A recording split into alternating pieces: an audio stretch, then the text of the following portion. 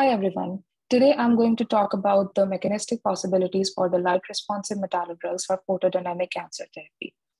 Before I begin with my topic of research, I would like to talk a little bit about photodynamic therapy. What is PDT and why is it important for cancer treatment nowadays? Photodynamic therapy is a cancer treatment which uses a photosensitizer activated by light in the presence of oxygen to kill the cancer cells.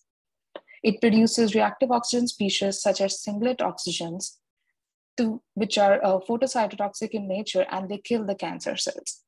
Therefore, the photosensitizers with high singlet oxygen quantum yields are desirable in our case. Conventional PDT relies on oxygen, but there are some tumors which are hypoxic in nature, and which is the major barrier of PDT because the tumor will be rendered ineffective and the it can grow back and it can metastatize as well.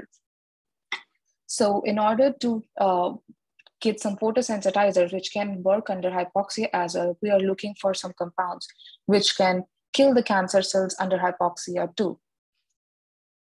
Today, I'm going to talk about some of the compounds that we are studying in our lab. These compounds are ruthenium-based photosensitizers having the ligand DTFMB that you can see here. And moreover, there are a number of compounds in this family that were synthesized in our lab by the addition of the five-membered thiophene rings. These molecules are studied as a delta lambda enantiomer, a racemic mixture of these two enantiomers. The photophysical pathway here explains the production of the singlet oxygen molecule through a simple Jablonski diagram that you can see here. The photosensitizer in its ground state is activated by the light when the light when the compound is illuminated by the visible light or any other laser light that we use to activate these compounds.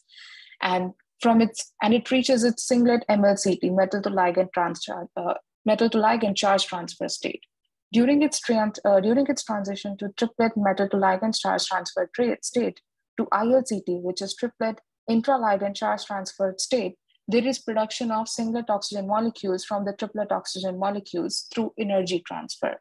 And these are the singlet oxygen molecules which are responsible for the photocytotoxic nature to kill the cancer cells. Furthermore, we are studying the singlet oxygen quantum yield of these molecules using the actinometric method as well, which ranged from 0.64 to 0.06 for, these, for this compound family that we are studying right now.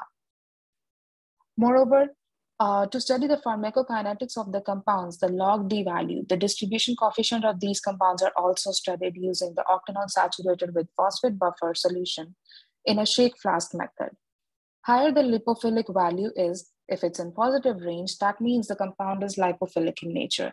And the lower the log D value is in the negative range, that means the compound is hydrophilic in nature. And it helps us determine the route of administration for the uh, for the cancer therapy. Furthermore, we studied the cytotoxicity of these compounds in the SK-MEL-28 melanoma cell line. Here you can see the cytotoxicity and the phototherapeutic index value for all the compounds in this family. These SK-MEL-28 cell lines were studied under normoxia and hypoxia using the uh, various light sources to activate the photosensitizer. Namely, we use the visible light, you use uh, 633 nanometer red light, 523 nanometer green light, and 453 nanometer blue light. Phototherapeutic index value are the ratio of the dark EC50 by the light EC50 value. And as you can see, with the addition of number of thiophene residues, the log EC50 values are decreasing and the phototherapeutic index values are increasing. That means the compounds are very much effective in their cytotoxic nature. We are also interested in investigating these compounds in various other cancer cell lines and various other species of bacteria as well.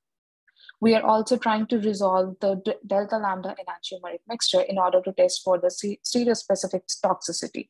And moreover, we are also working on the photophysical and the electrochemical properties of these compounds to elucidate the mechanisms responsible for the hypoxic nature of photocytotoxicity.